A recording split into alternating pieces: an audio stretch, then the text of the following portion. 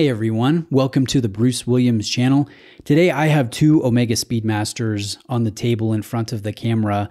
My uh, most recent pickup, the new METAS certified Sapphire sandwich with the 3861 movement, and it's right next to the recently discontinued Sapphire sandwich with the 1863 movement.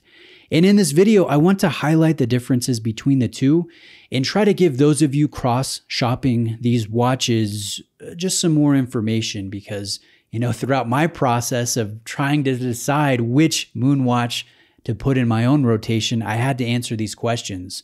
Is the old one, is it better? Is the new one worth the money? Are the upgrades great? How sharp are the edges? You know, um, I'm going to get into my opinions here, but at the end of the day, I want to just give you some more information and help you arrive at the decision uh, that would be best for your rotation. I really think the new METAS Moonwatch is worth the upgrade. It's worth the premium. It's a better watch. It does a lot of things better, but at the same time, the old Moonwatch, or I say the old Moonwatch, it's just barely been discontinued. In fact, it's still available at most authorized dealers. Omega is just selling off the remaining stock that they have. So at the moment, it's available. But this one excels in certain areas, and I think it actually does a couple things better than the new upgrade. And so let's get into those details here. Let's start with the dimensions and the fit. Uh, the new Moonwatch is actually an entirely new case. We have an entirely new movement, new bracelet, new case, new packaging. Uh, so it really is a brand new model, even though visually it looks very similar to the 1863. But you guys can see here the dimensions on the screen. The new one is just slightly wider in dimension, but it is quite a bit uh, shorter in overall lug to lug length, which I think really aids in the wearability and looks a little bit more retro inspired with that more squat profile. It's also slightly thinner, which I really appreciate as a watch fan. I think that's a great move. The bracelet tapers to a higher degree, and that is is really where it's felt. The old Moonwatch, the 1863, has a very solid, hefty, uh, dominant presence on wrist. And for reference, my wrists are 7.25 inches in circumference. And I like the rigidity. I like the look. I, I think the this Moonwatch, the 1863, is phenomenal. And so if you like that more solid, modern feeling or modern wearing watch, you're going to gravitate toward the 1863. If you like a more vintage inspired look, if you like a more, uh, how would you say it, a lighter, smaller fit with more flex and give in the bracelet, you're really going to gravitate toward that uh, 3861. I find it more comfortable. I like the fit. And I will answer the question Does it have unusually sharp edges to where you're going to cut yourself? No. It doesn't. I've been wearing this watch nonstop for the past couple weeks. In fact, I took this camping uh, last weekend. Uh, so I, have worn this, you know, I've slept with it, I've camped with it, I've worn it all the time. I've exercised with it on. So, uh, no, I have not noticed any hot spots or irritation or hair pulling. But I will say the edges are just ever so slightly more harsh than they are on the 1863. It's it's barely noticeable if you rub your fingers along the case and along the bracelet, along the clasp, but there is a difference. And so I will give the nod to a more comfortable fit on the new Moonwatch, but I think the finishing is just slightly more refined on the old Moonwatch, uh, just for the fact that the edges aren't quite as abrupt, even though, again, I have not noticed any discomfort. I have not cut myself or anything like that. Uh, not at all. So that's my opinion on the controversy, con- controversy, excuse me, of the finish on the new Moonwatch. Now let's talk about the big change, and that's going to be the movement. I'm going to place some macro video here on the screen and talk about the dimensions, talk about the specs, talk about the finish, and highlight the differences here. So the new METAS Moonwatch, obviously it's METAS certified, so it's certified by the Swiss Federal Institute of Metrology. It's also a certified chronometer, so it's very well dialed in, it's accurate, it's anti-magnetic, we now have a coaxial escapement, and uh, we have, I think, eight more joules, 26 joules on this, as opposed to 18 joules on the 1863. And if you look at the balance, you guys can notice a variable inertia system for regulating the balance, the small screws in the oscillating balance wheel. I think that is a more sophisticated way for regulation. And so I like to see that. As far as the finish of the movements, they're very comparable. I would say the 1863 feels a little bit more warm and classic with its finish, and I'll drop in some macro of that one. I don't know the answer to this, but I believe I would estimate that the 1863 is hand finished. It's a step above the 1861 and a Hesalite moon watch that you can't see. If you if you look at a case back on a Hesalite moon watch, the movement is actually not very attractively finished. So I believe the 1863 is hand finished. You can see the anglage. You can see a little bit of irregularity in the gold inlay in the text. And so it, it comes across as kind of an artisan product, very warm, classic, beautiful, even though the architecture isn't very sophisticated. It's not going to win any awards for accuracy. Most moon watches pre-METAS they're going to be running anywhere from 8 to 12 seconds fast per day. That's totally normal. It's not a chronometer. It doesn't have hacking. Uh, so, anyways, that that is the 1863. I'm a big fan of it. I have no problem with non-hacking. So, going back to the 3861, the finish is very similar, but I believe this is machine finished and I look at all of the nuance, it's still classically beautiful with perlage work, Geneva striping. Uh, we have very clinical looking engraving and infill when it comes to the colorization. And then if you look at the edges, the, if, if you look at the anglage on the plates, you'll notice some vertical striations. So I don't believe this is hand finished. This does look machine finished. And so it does lose a very minuscule amount of charm an appeal, that artisan feel. It feels more clinical than it feels warm, if that makes sense. But when it comes to the tech specs, when it comes to the accuracy, there really is no comparison. The new METAS certified movement is phenomenal, and mine's running like plus two seconds after a, a full week. Like it is dialed in. It is incredible. So uh, I like that. I think uh, the movement alone would be worth the upgrade. Now let's answer another question that I get pretty regularly, and that is Bruce. Are the bracelets interchangeable? And I've I've tried this. I've taken the new bracelet off of the METAS Moon Watch and I've placed it on the 1863 and it's a perfect fit. And I'll drop in pictures here so you guys can see the fitment and everything. But if you have an old moon watch, an 1861 or an 1863, and you don't want to make that change over um, to the new METAS 3861, but you do like the bracelet, you, you do like the fit, you can buy a new bracelet and fit it onto your 1861 or 1863 and it's going to be completely compatible. And so that is a nice thing. Now let's talk about a few other things here. Let's go on on the dial on a macro level. I do like the step dial better. I do think the loom is way better on the new one with the application. It's a thicker printing and it's it seems to be infilled in some areas within that step dial. I love the applied logo that you will only find on the sapphire sandwich of the METAS certified moonwatch. That's a nice touch. That's that's something that you would find on a vintage Omega Speedmaster reference. I think the printing is overall a little bit more tidy and clean. There's great contrast. And if you look at the indexing around the circumference of the dial, because Omega has omitted some of those hashes, you see more black shining through or coming through. And so the smoky ring, so to speak, of the sapphire sandwich is not as noticeable on the METAS certified Moonwatch because you're getting more black. And I've just got a little visitor here. Uh, this is my sweet daughter who, is it time to leave? Okay.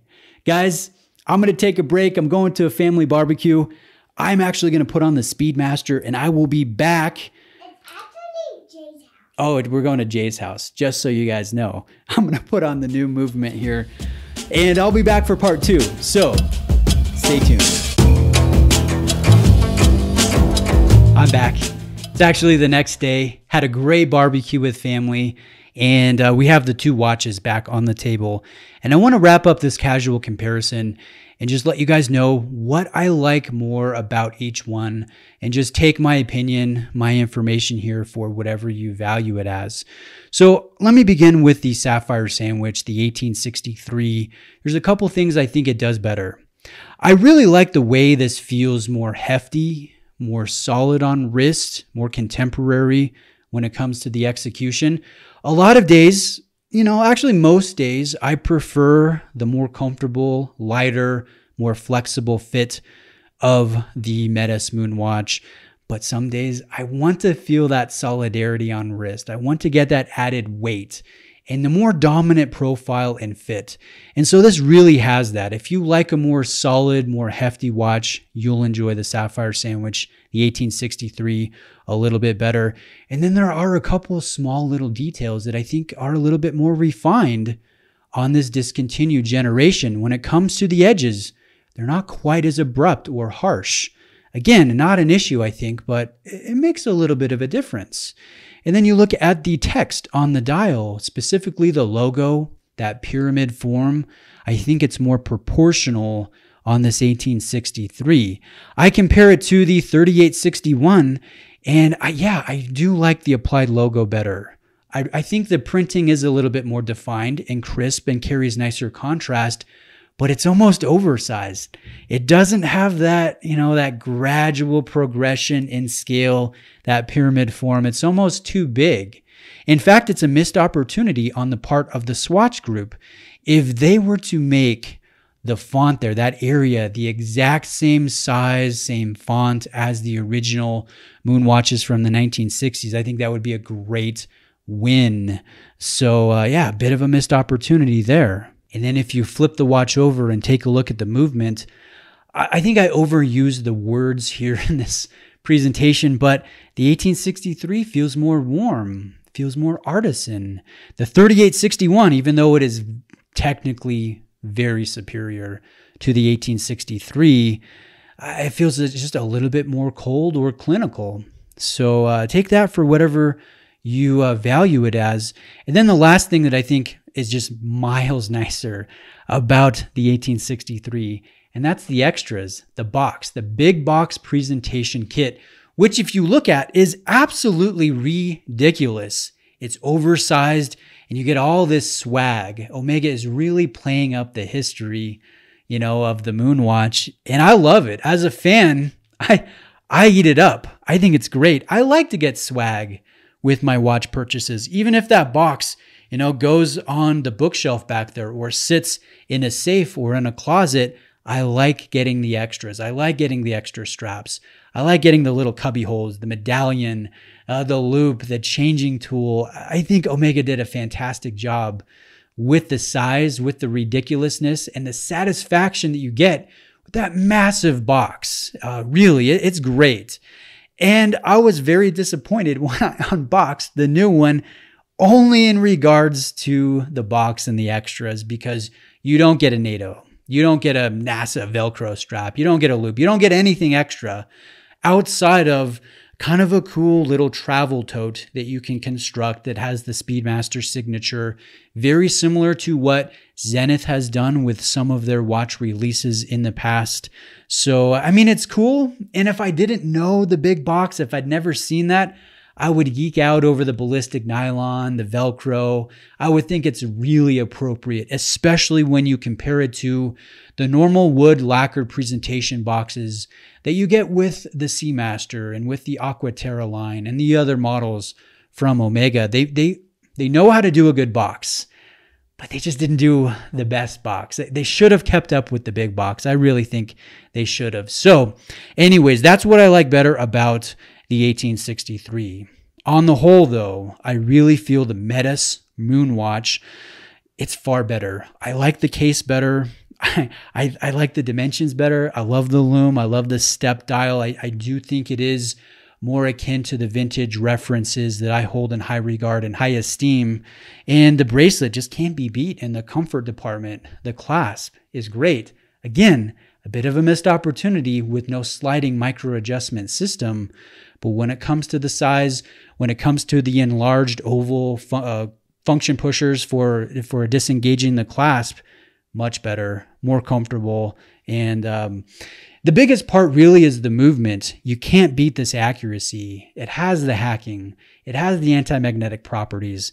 Although it is slightly more clinical and machine finished, it's still beautiful. And I'll spend time just looking at the details and actuating the chronograph from the reverse side of the watch. And there are also a couple little things that I enjoy more. Uh, I really like the step dial. I really like the loom. I mentioned those those aspects, but you go to the case back and you look at the way the case back is constructed with the finish, this being brushed and having more pleasantly proportioned text around that exhibition window. I think those are nice little details uh, that, that enhance the watch and also getting a little bit less haze or smoke in that ring. Uh, those reflections around the box sapphire crystal, I think also help the watch to a small degree. So, definitely the more contemporary watch, but the more vintage inspired or vintage feeling watch between the two. I prefer it. This is the one that's going to stay in the collection that I'm going to enjoy and uh, any day but Tuesday, right? The Speedmaster is cool any day but Tuesdays. And this 1863, I'm going to be boxing up tonight. I'm going to be selling it to Kevin. So shout out Kevin of the Wrong Time Watch channel. I'll put a link to his channel in the description. Uh, he's very excited about adding the Sapphire Sandwich. Says it's a long term uh, kind of grail watch of his. So I'm happy to cut him a deal. I won't miss it because I've got its replacement right here. And at the end of the day, there is no right answer. The right answer for me is the new METAS version, but for you, you know, it might be the discontinued variation. You might enjoy that one more. Maybe you have one, you want to keep the big box that's better, but you want to buy the bracelet that's more comfortable on the METAS and, and just, you know, put it on your version. There is no right answer or wrong answer, in my opinion. And I'll leave you guys with one final thing because I've gotten a few of these questions, uh, and that is which one will be more valuable in the future? It's a question that we seem to ask ourselves a lot as watch enthusiasts, and it's not very exciting. Like it's it's kind of fun to speculate. But at the end of the day, I'd rather just wear the watches and not worry about appreciation but uh, specifically with this discontinued variation, we've already seen a decent bump in value over the past six months. You know, it's gone up a good $800. Will that continue? Most likely. Is it going to reach lucrative levels to where you're going to make money if you quote unquote invest in new old stock? I don't think so. I really don't. Because there have been tens of thousands of these Speedmasters produced that have the awesome big box. And there are a lot of people speculating right now like, hey, should I hold on? When should I sell? I just don't think the market is going to be lucrative enough for the time and the effort into, hey, am I going to make some money or am I not going to make money? Here's where I think it could be lucrative. If you buy one of these and you don't wear it, you keep the stickers on, you put it in the big box, you put it in a safe, and you have everything. You have the outer cardboard box that's made in China or Thailand or wherever it's made. You have the whole set, right? All of the extras. And it's just in pristine, perfect, beautiful condition, all original.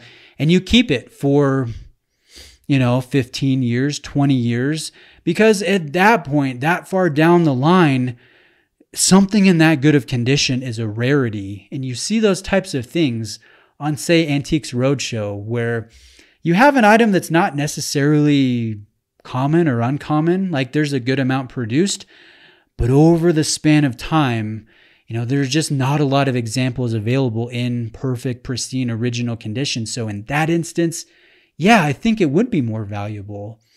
And that would be great, but you're not going to be wearing it over the years. And even then, I don't know to what degree it would appreciate. Maybe it would be enough to where you're tempted, and maybe, you know what, it's just not worth it to you. So at the end of the day, sorry, I'm, I'm rambling a little bit. Let me wrap up. I don't think value should be the driving force behind your decision. It should be which features speak to you the most. Do you like the charm of the old one? Do you like the upgrades of the new one? Which one would be best in your own rotation and just make your uh, make your choice accordingly. That's what I've done and uh, I thank you for watching today. Let me know if you have any specific questions. And if you're shopping for an Omega, I'm going to put a link in the description to the authorized dealer where I purchased my METAS Moonwatch. My guy Brad at Brent L Miller Jewelers in Lancaster, Pennsylvania. And as the last time I talked to him, which was only a couple days ago, he had the new one, he had the discontinued version, he had the coaxial version, you know, the larger racing he had a first Omega in space, which has been discontinued. So we still had some good stock available. So uh, all of that's in the description. Thank you guys again for watching this rather long and interrupted video. But thanks for your patience. Again, reach out with questions and uh, see you next time.